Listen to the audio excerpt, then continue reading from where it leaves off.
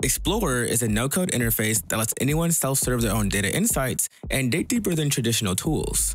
You can get started with the new exploration by asking a question in natural language or by browsing through your trusted datasets. The Explore interface gives you everything you need in one view, split up into three sections visualization, data, and all your available fields. To make it easy for anyone to answer questions, actions in an exploration are done by dragging and dropping fields into drop zones. As you add fields, your visualizations come to life. Every aspect is customizable, letting you perfect how you view your data. If you want to take your analysis in a different direction, Explore makes it easy to iterate and discover new insights.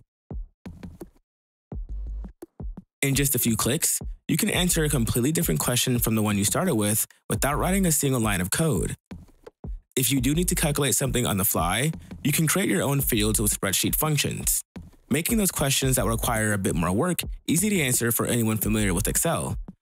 And everyone's familiar with Excel. Speaking of easy, Explore does joins.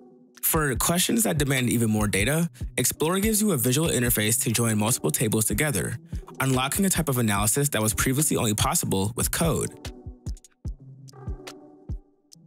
When you're ready to take your analysis even further, any exploration can become part of a larger Hex project. You can share your insights by publishing them as Hex apps, which can be sent to anyone. But the exploration doesn't need to end here.